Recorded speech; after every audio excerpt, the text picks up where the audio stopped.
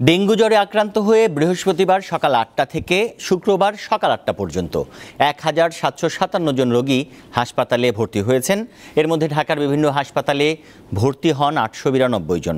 একই সময়ে ডেঙ্গুতে আক্রান্ত হয়ে দশ জনের মৃত্যু হয়েছে। শুক্রবার স্বাস্থ্য অধিদপ্তরের সংবাদ বিজ্ঞপ্তিতে এ তথ্য জানানো হয়। রাজধানীতে ডেঙ্গু পরিস্থিতির খবর জানাতে এই মুহূর্তে আমাদের সাথে যুক্ত হচ্ছেন সহকর্মী নূর আলম। নূর আলম আছেন এখন মুগদা হাসপাতালে। নূর, আমাদেরকে জানাবেন হাসপাতালটিতে সেবা নিয়ে কি বলছেন, চিকিৎসা নীতি আসা রোগী এবং তাদের স্বজনরা।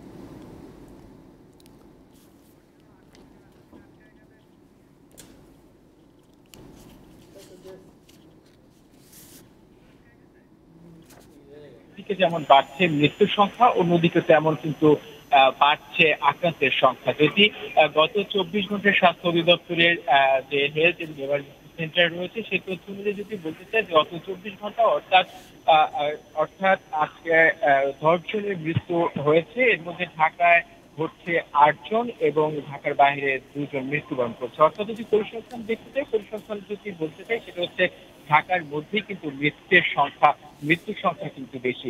আর যেটা বলছে যে ডেঙ্গুতে আক্রান্ত হয়ে এরপর আক্রান্ত হয়ে এক হাজার সাতশো সাতান্ন জন কিন্তু এই মুহূর্তে ভর্তি রয়েছে। এবং মোট ভর্তি হয়েছে কিন্তু ভর্তি হয়েছে ষাট হাজারেরও বেশি মানুষ কিন্তু চিকিৎসাধীন অবস্থায় রয়েছে। আপনি যেমনটা বলছেন যে স্বাস্থ্যসেবার কথা বলতে হাজারেরও বেশি মানুষ কিন্তু চিকিৎসাধীন অবস্থায় রয়েছে। আপনি যেমনটা বলছেন যে স্বাস্থ্যসেবার কথা যদি বলতে চাই যে আমি এই মুহূর্তে রয়েছি মুক্তা মেডিকেল কলেজ হাসপাতালে। আপনি জানেন যে এটা একটি সরকারি হাসপাতাল পাঁচশো শয্যা বিশিষ্ট কিন্তু একটি সরকারি হাসপাতাল। যেহেতু এখানে কিন্তু যে পরিচালকের দায়িত্বে রয়েছে তার সাথে কথা বলেছি। যেহেতু আপনি দেখতে পাচ্ছেন আপনি জানেন যে মুগদা বাসাবো সবুজবাগ এলাকায় কিন্তু আসলে ডেঙ্গুর প্রকোপ যেটা ঢাকা দক্ষিণ সিটি কর্পোরেশন আওতাধীন প্রকোপ কিন্তু অনেক বেশি সেই কারণে এই হাসপাতালগুলোতে কিন্তু রুগীর চাপ সামাল দিতে হিমশিম খাচ্ছে যে স্বাস্থ্যসেবা।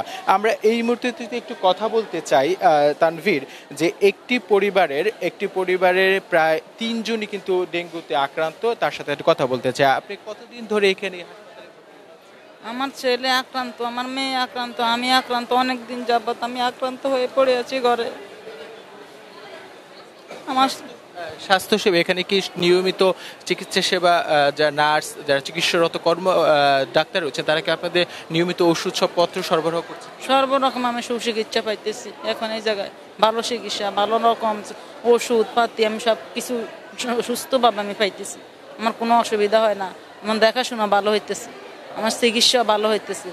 হ্যাঁ তানভীর যেমনটা শুনছিলেন এই ডেঙ্গু রোগে আক্রান্ত রোগীর সংখ্যা এবং তার কিন্তু ফ্যামিলির তিনজনই কিন্তু ডেঙ্গুতে আক্রান্ত হয়েছে এবং সে বলছে যে এখানে স্বাস্থ্য সেবার যে মান মান নিয়ে কিন্তু তাদের কোনো প্রশ্ন নেই। তবে যেহেতু একটি সরকারি হাসপাতালে, একটু যেহেতু ব্যাপক পরিসরে হাসপাতালে চিকিৎসাধীন অবস্থায় রয়েছেন ডেঙ্গু, সেক্ষেত্রে চিকিৎসা সেবাও কিন্তু একটু রয়েছে। তানভীর, এই ছিল রাজধানীর যে ডেঙ্গু হাসপাতাল, যে চিকিৎসাধীন অবস্থা হাসপাতালে রয়েছে, তার সর্বশেষ খবর। তানভীর।